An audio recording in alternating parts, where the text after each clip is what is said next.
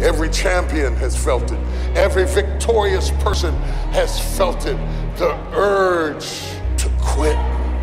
Don't you give up on your dream. I don't care if you don't have the money, and you don't have the help, and you don't have the family for it, and you don't have the friends for it. Don't you give up on your dream. Don't you do it. It may take you twice as long.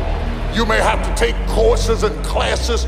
You might not read as fast. You might not move as quick. You might not have as much. But don't you quit. If you lay dead, even the animals won't bite you. The risk of being bitten is the cost of getting up. And you have to decide are you so concerned about being bitten that you're willing to spend the rest of your life laying dead? Or is there something pumping down inside of you that says, bite me or not, I'm getting up?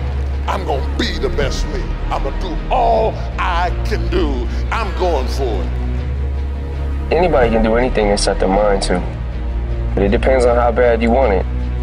With enough persistence, most things that seem impossible become possible.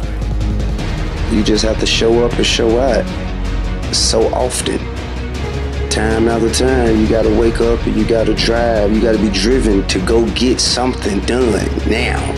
You gotta be willing to stand on your beliefs. Because a lot of times, you're the only one who can see it. And other people, they don't see it really, but you gotta really believe in what you got inside of you that's telling you and driving you to a certain goal for something. The very minute that you decide upon something, you know that's what you want, you know you're going to do it, all of these negatives that have been bothering you, they pick up their baggage and get out. They can't live in a positive mind. You have to move with courage, with faith, with determination. I don't care what it is. I don't care how difficult it is. Listen, you better put some strength in your back, plant your feet, and stand up. Don't you dare sit down.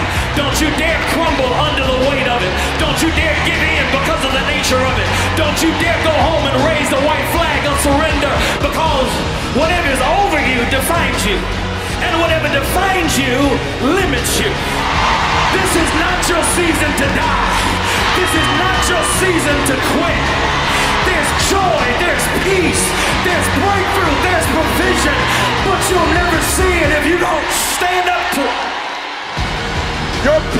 is going to be a part of your prize, a part of your product.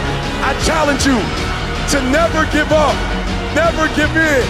And finally, guys, you gotta wanna succeed as bad as you wanna breathe.